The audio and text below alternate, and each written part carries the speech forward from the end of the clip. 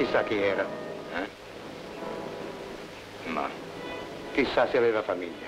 e se l'aveva? Guardiamo un po' cosa aveva con sé.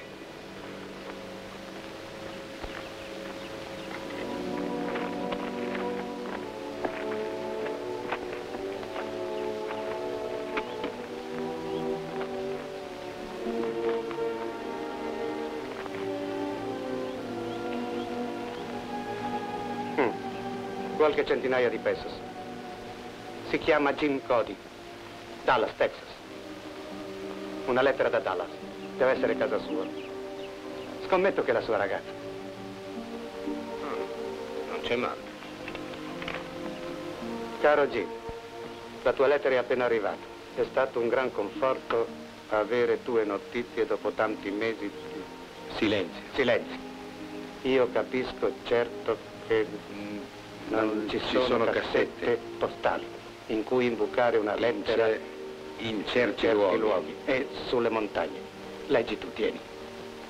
Ma questo non mi impedisce di stare in pensiero per te. Il piccolo Jimmy è un amore, ma desidera tanto il suo papà quasi quanto me. Seguita a chiedere, quando torna a casa papà? Mi dici che se questa volta farai un buon bottino non partirai più. Io non so nemmeno dirti quanto mi rallegrino il cuore queste parole. Spero sia vero. E adesso mi sento libera di dirti che non ho mai creduto che i tesori materiali, per quanto grandi fossero, potessero ripagarci di queste lunghe separazioni.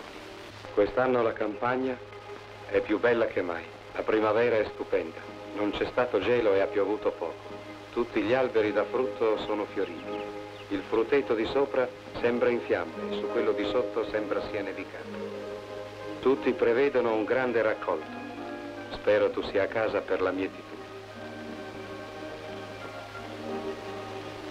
Spero che finalmente tu possa riuscire in quello che desideri.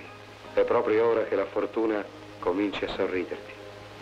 Ma in caso contrario, ricordati che il vero tesoro della vita l'abbiamo trovato. Per sempre tu.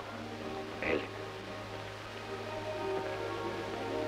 Beh, sarà meglio scavarle una fossa.